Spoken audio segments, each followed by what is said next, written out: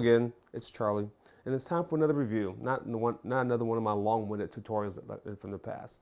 And this time, I want to review an album that I've loved since I first heard it, and it is an album that has been, I want to say, it's been shadowed by the album by the album that followed after that, and probably by the album that followed before that.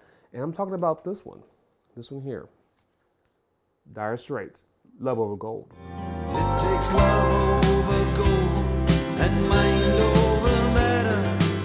Over Gold sits in the middle of the Dire Straits catalog. It comes before comes before Brothers in Arms and it falls making, making movies.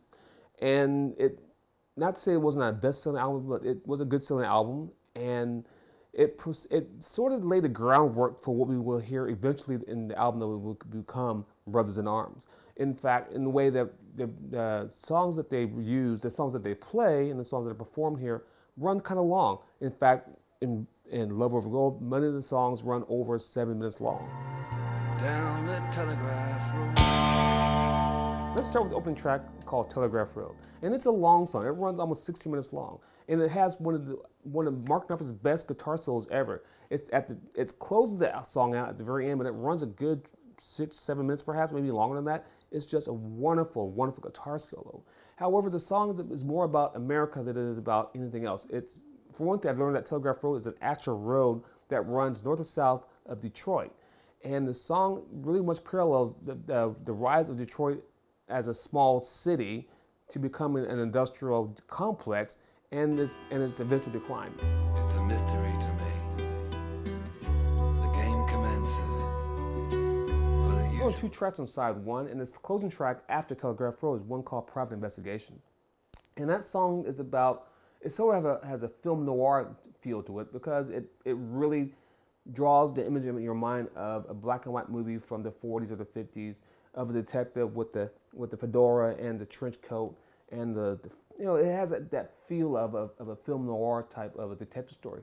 Great track, and it the great album thing about this album that it, sounds really really good on most in almost any format. I have it on record. I also have it on CD. I, I don't have an original unremastered CD, but I got a, uh, the last remaster from a few years ago, and it's still good. It could I think it could be better.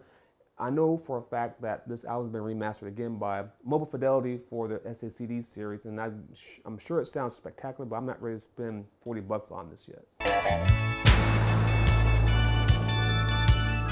So, turning the record over, we now start on the last three tracks.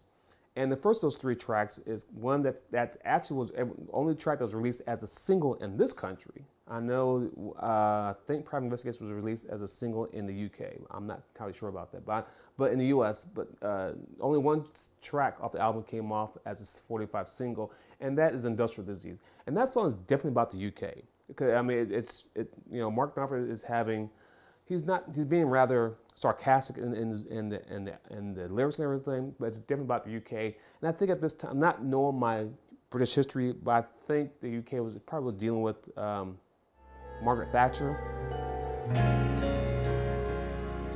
So that brings us to the last two tracks on the album, one of which is the title track called, which is Love Over Gold. And it's an okay track. It's not my favorite track on the album, but it's okay. Kind of dark and kind of stark and everything. The, the, closing track, which is "It Never Rains," and "Never It Never Rains" is a good, is another good track. I like it too, mainly because there's another great Mark Knopfler exit guitar solo that tails off to the very end. So the album here, it's pretty stark. There's not much to it in terms of packaging. In fact, there's no pictures of the band whatsoever at all. You get the, the great lightning cover here in the back, and you have this little bitty, well, you get this little digital readout of a CRT computer screen. And inside there is merely the lyric sheet. There's not any pictures, not any pictures of the band here, just lyric sheets and everything on both sides.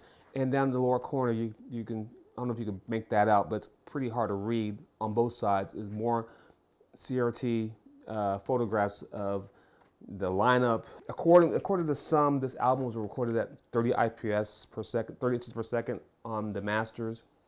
But if that's the case, I think it probably adds to the high quality sound that's heard here. This is not your or this is not an ordinary recording.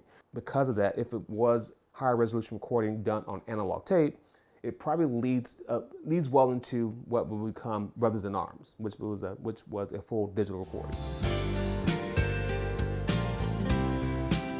So there are my thoughts on Love Over Gold. I love this album. I'm, I've always been a huge fan of, of, Dire Straits from even from their first album, and I don't think this guy's ever really cut a bad album at all. Even their last album, with, uh, on Every Street, didn't sell very well, supposedly. I thought that was a pretty good album. That a pretty good album too. Um, I think all their albums are really good. The one I don't really really don't embrace is probably the second album. But you know, every band goes through that sophomore jinx, and there and that's no there's no exception. If Love Over Gold is not in your collection, it should be in your collection because if you love Dire Straits, you love Sultans of Swing, you know, there's more to this band than than Brothers in Arms. That's that's the main point I get across here. There's more to them than just Brothers in Arms, and there's more to them than just Sultans of Swing.